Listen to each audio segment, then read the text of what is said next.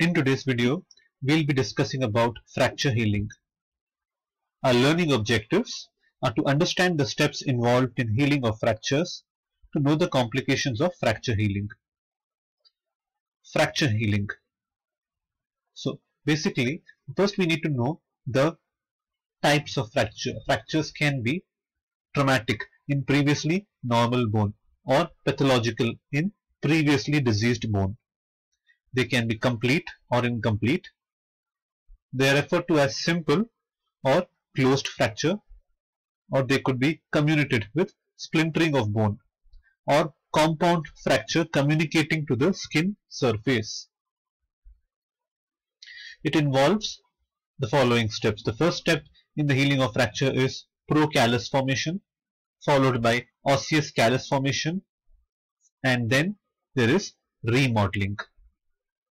What is procallus?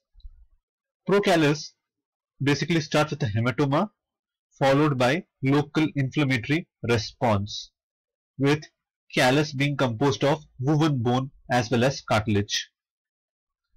The next step is osseous callus formation.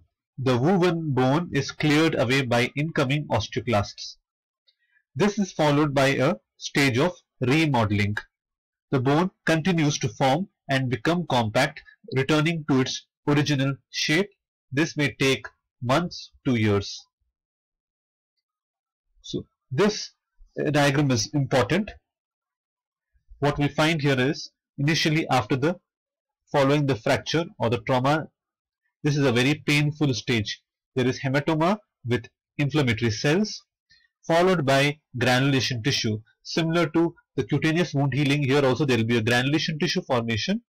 Then we get the procallus formation which is woven bone with the cartilage.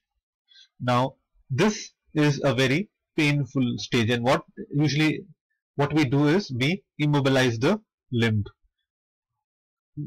In the next stage osseous callus as I mentioned the cortical bone starts being laid down the woven bone is replaced. And finally to come back to the original stage of remodeling. It takes time at least six months to a year. So this is an example how the fracture which was there and this fracture is now displaced. And then you can notice here that there is the callus formation right? Callus formation is there and finally it is the procallus becomes osseous callus and this undergoes remodeling in about six months. So this stage is clinically when the pain stops that is taken as healing. So when do they regard healing? Healing is clinically when there is no tenderness at the site of fracture the clinician says yes healing has happened. What are the factors affecting uh, affecting bone healing? Movement of the bone fragments, weight bearing too. So if you if someone has undergone a fracture and they start moving very fast then that adversely affects the healing. Smoking. Medical conditions such as diabetes hormone related problems vascular diseases. Some medications such as corticosteroids other immunosuppressants.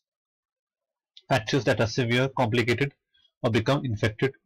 In advancing age the fracture healing becomes slowed down. Poor nutrition or impaired metabolism also slows down the fracture healing.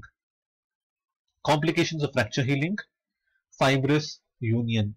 If the patient uh, does not immobilize the limb, then instead of a proper bony union, there will be just be a fibrous union. Or if there, is, there could be just a non-union. The ends of the fracture will not unite at all. Or they could be delayed union. When the union is delayed than the expected time.